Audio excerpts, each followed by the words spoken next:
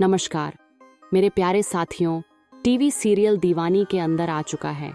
मीरा और पार्थ की ज़िंदगी में एक बहुत बड़ी मुसीबत, जहाँ एक तरफ़ प्रिजल की घड़ियाल के आँसू के कारण पार्थ को मनमोहित कर उसे खाई में प्रिजल ढकेल देती हैं तो वहीं दूसरी तरफ़ मीरा को पार्थ के इलाज के लिए 40 लाख रुपयों को लाने की ज़रूरत है, तभी पार्थ की जान बच पाएगी।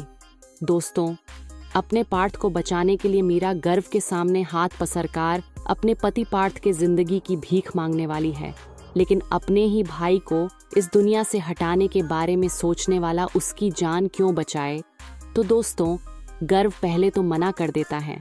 लेकिन बाद में मीरा की इस मजबूरी का फ़ायदा उठाता है और वो मीरा के साथ ज़बरदस्ती करने का प्रयास करता है। पार्थ को बचाने के लिए वो पैसे देने के लिए राज़ी तो होता है, लेकिन एक शर्त पर वो शर्त यह है कि मीरा को गर्व के साथ शादी कर उसके साथ बिस्तर गर्म करना होगा।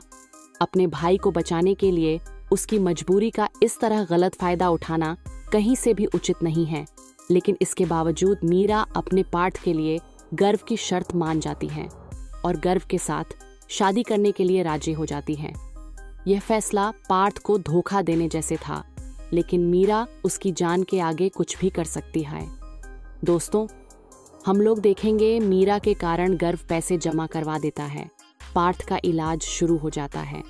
लेकिन मल्टी ऑर्गन खराब होने की वजह से अपनी याददाश्त खो बैठा है। पार्थ मीरा को पहचानने से इनकार कर देने वाला है।